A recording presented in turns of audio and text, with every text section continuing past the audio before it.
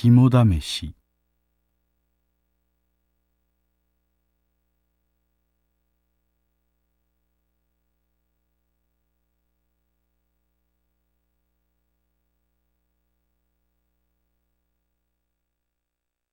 大学生の T さんがサークルのメンバーと合宿に行った時の話である。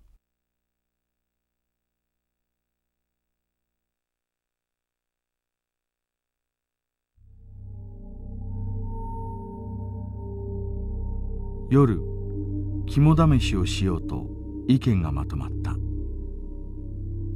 近くの山に長い石段を登る古い神社がある。男女ペアを組んで順番にその石段を登って頂上のお社の前に小石を置いて帰るという他愛のないものだ。早速ペアを決め順番をくじで決めたが T さん一人だけ余ってしまった「いいよ俺。一人で大丈夫だから」と内心怖いくせに女の子たちがいる手前虚勢を張った。しかもくじでは一番最後というのでまた嫌なことが重なった。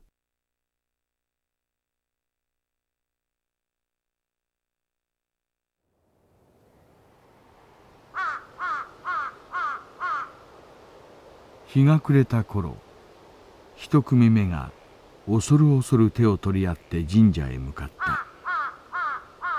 一方脅し役というのがいて石段の周りの雑木林や藪の中に潜んでいて女の子を脅かしたりする。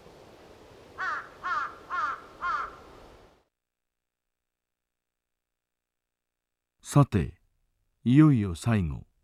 T さんの番になった「行ってくるぞ」と胸を張って一人で暗がりの長い石段を登ってゆく。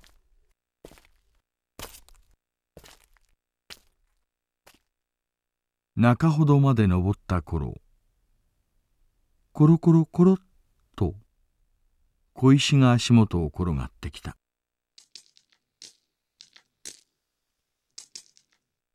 一瞬ビクッとしたがああ脅し役のやつらが脅かしているつもりだなと周りに友人たちがいると思うとかえって勇気が湧いてきた。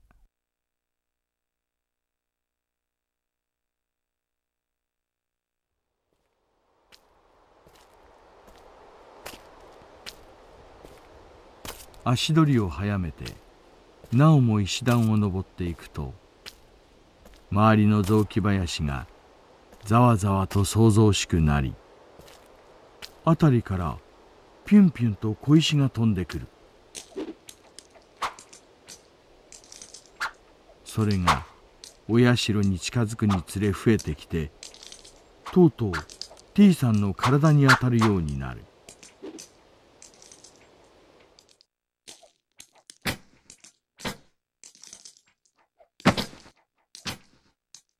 何も当てることはないだろう。と思いながらようやく石段を登りきりお社の前に石を置いた。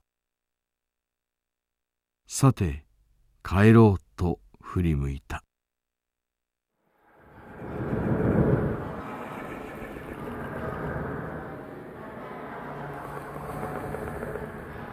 ああ。思わず声を上げるとさささっと子供たちは雲の子を散らすように両脇の林や藪の中に身を隠した。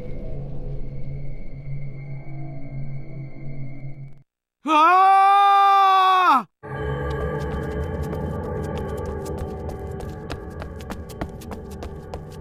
夢中で石段を駆け下りて仲間たちのところへ戻る。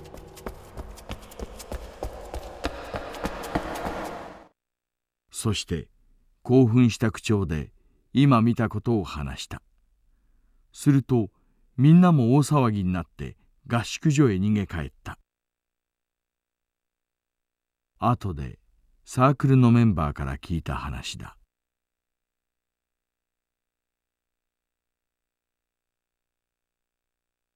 実は T さんが石段を登り出した時脅し役の仲間たちは全員引き上げていた。